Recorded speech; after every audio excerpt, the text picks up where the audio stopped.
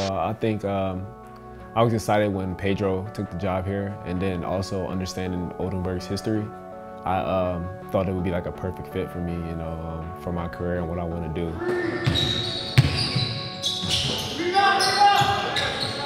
Uh, I think a guy that just does anything to win. Um, I'm going to accept whatever role I get, and then I'm going to try to do it to the best of my ability. But just more of anything, a winner.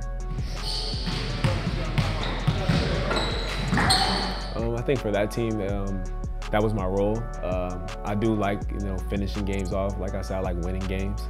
So if I get the, you know, the last possession or the last shot, I'm trying to make sure that I, you know, make the shot. So.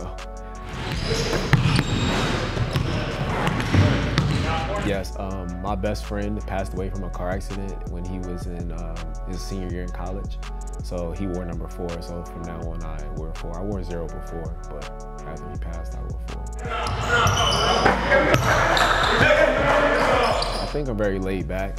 Uh, I just recently had a daughter, so I became a dad. So now I'm just more, you know, taking care of my family, uh, making sure she's growing up the right way. So off the court, I'm pretty chill. I'm watching uh, Blue's Clues and doing all everything with my daughter. So.